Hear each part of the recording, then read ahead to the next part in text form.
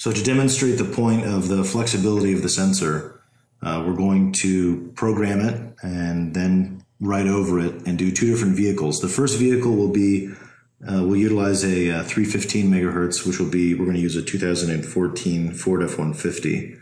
Uh, so we have our Bartec Tech 500 right here. We're going to go to Program Sensor, Ford F150, 2014. We're going to go to Schrader EZ Sensor, Program, Create ID, and you're going to see here this says the new update. It says place the 35, 33500 or the uh, Black EZ sensor. Um, but we're going to do this with the new sensor and we're going to program it.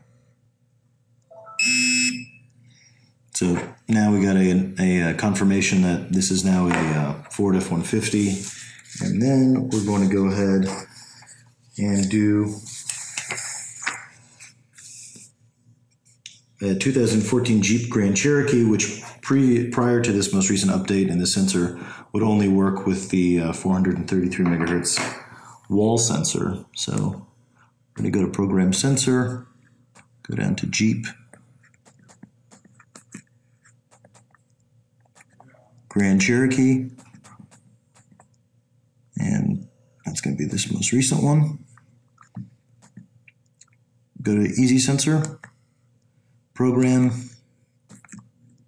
Create ID. It says place the 33500 or the Blue EZ Sensor. So we're going to go ahead and just hit Enter the program, and it's going to write over the F150 and we got the confirmation of a successful program. So now it's a 433 megahertz Jeep sensor. So there it is, ultimate inventory diversity from Schrader.